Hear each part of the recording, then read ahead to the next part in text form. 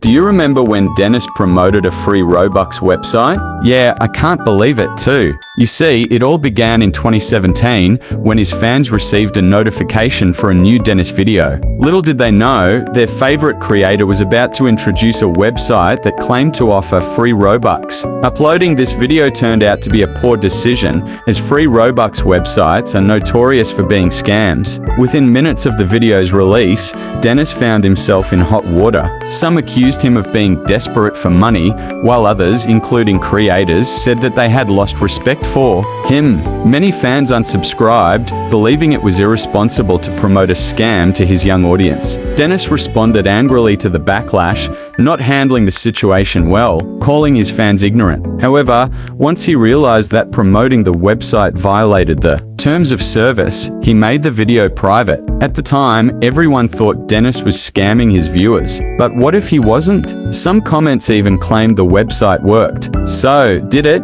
Well, the website has since been taken down, making it difficult to verify whether it was real or not. Interestingly, Denis himself discussed Growbucks in 2022 when he was reacting to his history, saying that it was legit and it wasn't a scam. However, the Roblox wiki states that Denis admitted it was a scam.